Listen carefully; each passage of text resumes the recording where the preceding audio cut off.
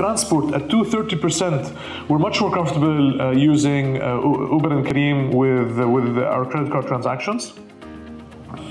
Quick service restaurants, uh, those are definitely a big driver, especially that the ticket sizes is not big. You're looking at anywhere from 40 to 100 dirhams uh, for transactions. Real data about the status of e-commerce in the United Arab Emirates has been recently made available uh, by Visa and the government of Dubai. The year-on-year growth for categories, government services is definitely uh, a big driver for that and uh, retail goods the, due to the growth of the Instagram stores as well as the retailers going more into leaning more into online commerce. Transport at 230%, we're much more comfortable uh, using uh, Uber and Careem with, with our credit card transactions. Quick service restaurants, uh, those are definitely a big driver, especially that the ticket sizes is not big. You're looking at anywhere from 40 to 100 dirhams uh, for transactions. Entertainment, as in tickets for, for movies or shows and so on, those are also uh, uh, growing, especially when you want to book something in advance to make sure that you secure your seat. And retail services at 360%. This is when the uh, retailers are leaning more into online commerce. So, what are we buying online in Dubai and the UAE? Government and education is the largest uh, contributor to that and that is a testimony for uh, the government driving those transactions. Another reason why government and education services rank very high in the uh, transaction uh, volume is that uh, the, the, what you pay for is much higher. So school tuition fees, uh, uh, services from the government in terms of licensing and taxes and so on, those are high ticket items. This is a contributor to why the volume, uh, uh, the volume of transactions within Dubai and the UAE is uh, relatively higher than other categories. Airline and travel services are highly ranked within the transaction categories due to the increasing nature of uh, better offers and deals when you buy directly from uh, Emirates Airlines, for example, versus a third-party provider uh, for that uh, for that service.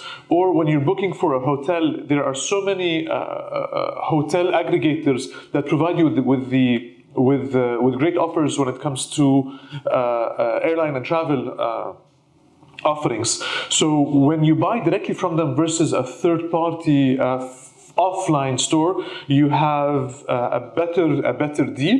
You have uh, uh, electronic transactions that come your way that store in your phone. There's a decent mobile app, a, a clear email for proof of what you have.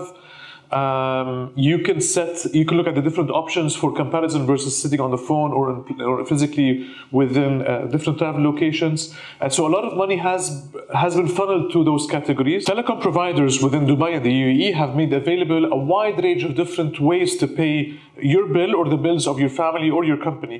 And online payment, electronic commerce payment is, is one aspect of those. And you get to see a, a growing number of people who are more comfortable paying their own bills or the bills of their family or their work using, uh, using those cards. What is labeled as quick service restaurants and transport are more what consumers we do every day uh, we need on a daily basis to eat, to get from place to place. So the utilization of Uber and Careem uh, uh, for transportation, in terms of food, you, you have a, a, wide competing variety within Dubai and the UAE for uh, Uber Eats, Deliveroo, uh, Careem Now, Zomato, uh, a wide variety of different transactions for people to buy online. So for those, what Visa pointed out in its report is the number of these small transactions is increasing. The apparel and accessories is not a big category yet, it's only 3%. However, this is definitely, definitely growing by two drivers. Offline retailers going more, uh, leaning more into online,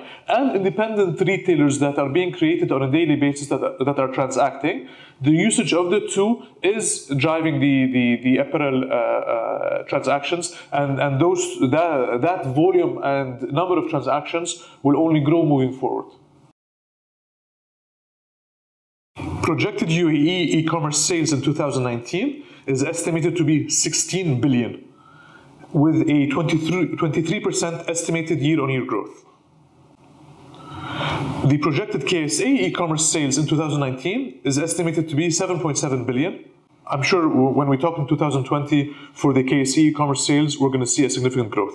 The UAE e-commerce penetration, meaning from the total commerce, how many of those transactions are online, it's 4.2% based on the 2017 data only. So it's likely much higher with, with uh, 2019 data. The average spend per transaction in the UAE is $144 in 2018 2019. That's a large number, and that's also due to the uh, bigger contributor of uh, e commerce transactions being done with e government services and education. One recurring theme within the report is logistics infrastructure readiness.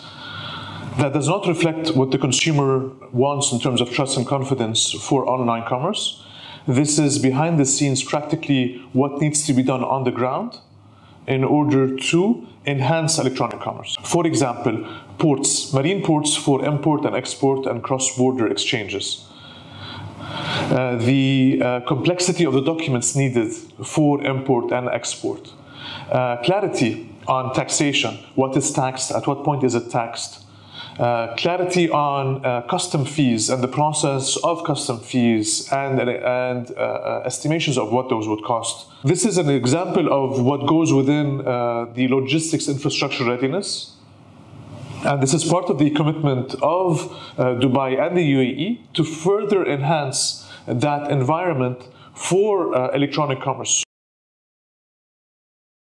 There's a growing number of marketplaces within uh, Dubai and the UAE. We, uh, they think of them as electronic malls that have different brands and different products. And when you buy, you're buying from that marketplace uh, and then a vendor. So there are two parties here. There's the vendor who actually sends you the product, and then there's the marketplace that houses these many vendors. So in case you have an issue with the vendor, marketplaces are aware now that they need to have trust with the consumer in order, in case for them to buy more from that marketplace, so that in case you have an issue as a consumer with any of the vendors, that they're able to step in and help. So uh, they are more flexible on refunds. Uh, they have support teams who are able to do this. They can mediate between the two. So that also provides an element of confidence.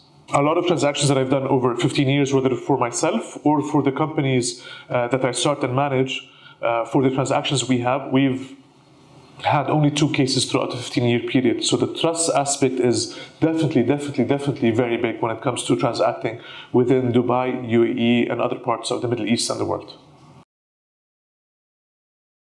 Consumers also care about same day and next day delivery. And that has been growing in, popularity and availability within Dubai and the UAE. So when you order a, an item online, we like it as fast as we can the, uh, the e-commerce uh, report from Visa uh, and uh, the Dubai economy shows that the trust by consumers continues to grow and they're transacting in much bigger volumes across many different categories.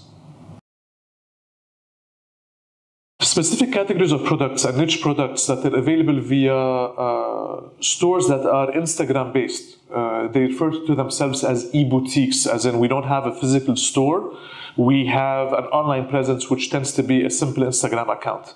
Uh, not even an online commerce website. And uh, more and more consumers have been trusting them with their with their money, um, especially when there is clarity on uh, the refund policy and the exchange policy. As a consumer, if there's a thought in your mind if online transactions are secure or not, today in 2019 in Dubai and the UAE, the transactions have been much more secure, especially from well-known brands in retail, commerce, government, to uh, have the confidence to buy online, talk to your bank, talk to other people who are making the transactions online. You'll see that a growing number of people are much more comfortable uh, uh, purchasing online. In case you have issues, your bank can return the money to you. The vendor, the, the decent vendors that you buy from have a, have a good support team in place in order to, to, to, to reimburse you.